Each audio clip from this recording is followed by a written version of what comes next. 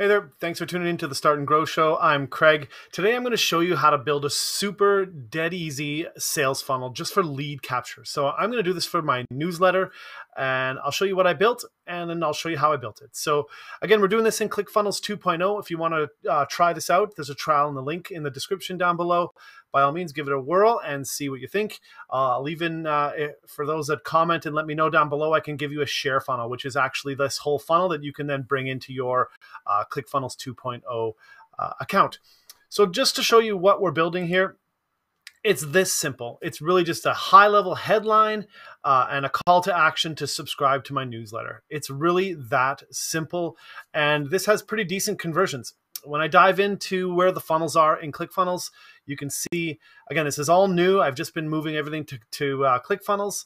But if we look at this funnel here, uh, I've only had 30, 44 page views 34 unique visitors and 11 opt-ins. So already as I'm just starting to build my newsletter here on ClickFunnels, I'm already getting like 30% conversions. So it works. Um, but here, let's dive in and show you what this is about. So this is my start and grow newsletter funnel. It's a very basic opt-in funnel. And so again, what's cool about ClickFunnels is it all starts with the workflow because we're building a sales process or a, a, newsletter process where people subscribe and then you know get a thank you page and then off you go with uh, a welcome email so this is showing you right here you know how i built this so i started off at the beginning here i basically created a new page and that brought me into what i've got here so i did a uh, an opt-in page the one you saw and then i did a thank you page so let's look first at how simple the opt-in page is and again when you go and create a new page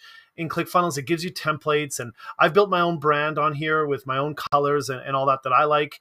Um, but it's really this simple. So if you look, the editor uh, is pretty basic. I've got one section here and then another footer section down below. And as you can see, there's not much to this. So the core section here that I did have, I actually created with a, a simple background. As you can see, it's blurred.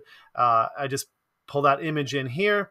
Uh, I added a bit of foreground and background just to blur it and just make it more white.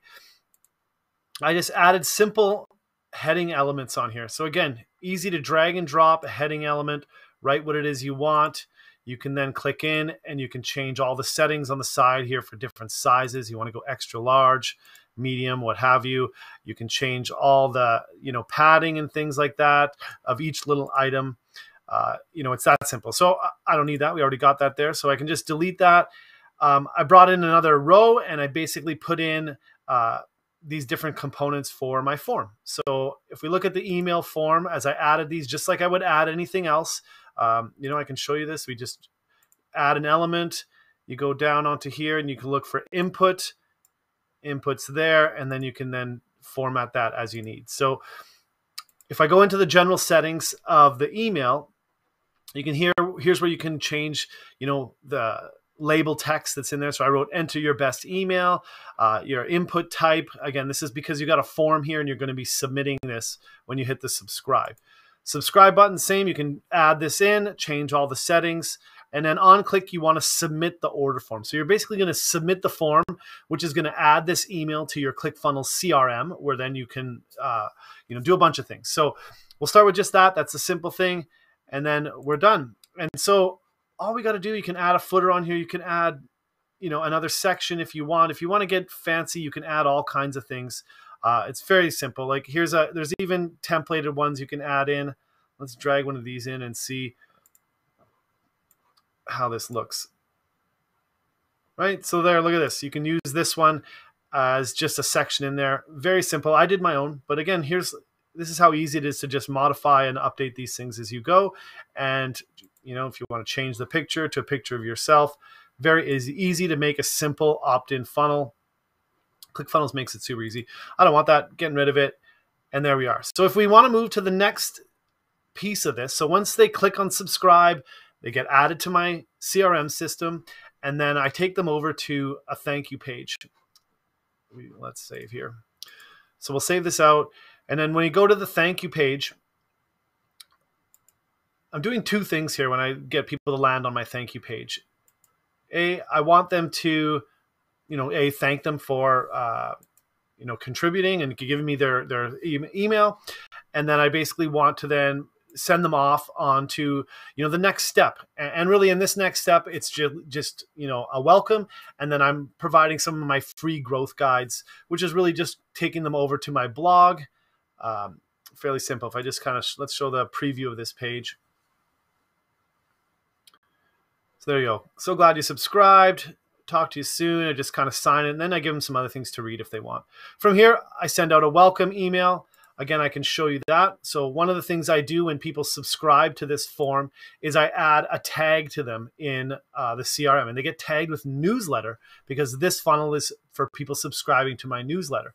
Once they're added to that, I basically uh, created a workflow in the marketing, in the email marketing side that corresponds to this particular funnel. And so here, what I do is I have a workflow called Welcome to the Start and Grow Academy.